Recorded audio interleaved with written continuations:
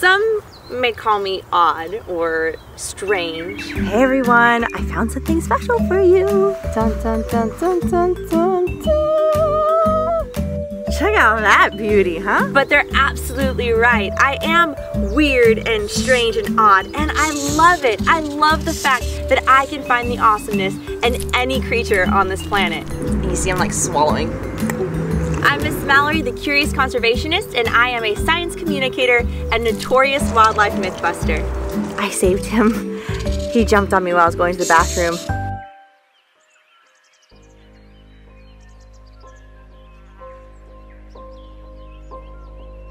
This is a tropical giant cockroach. This is a coffee snake. And she's pretty good at holding on. Check this out. Over a hundred hatchlings for this critically endangered turtle, Bikati. Amazing species. For me, a true animal lover is one that can show the same amount of respect and understanding to an animal they may fear just as much as to an animal they may adore. To love is great, but to understand unconditionally is profound.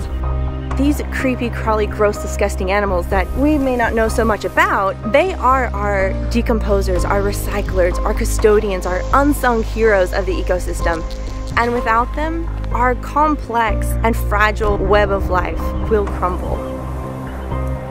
What I love most about these unlovables, if you will, are the stories behind them. They are nature's true diamonds in the rough. Introducing these animals to inner city kids is by far my greatest passion. These kids don't really get the opportunity to interact with these types of animals in a positive way. So being able to turn their fear into fascination is my greatest high. I'll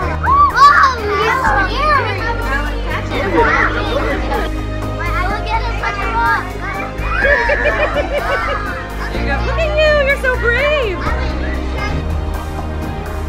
Ultimately, I want my passion to be infectious. I want to inspire.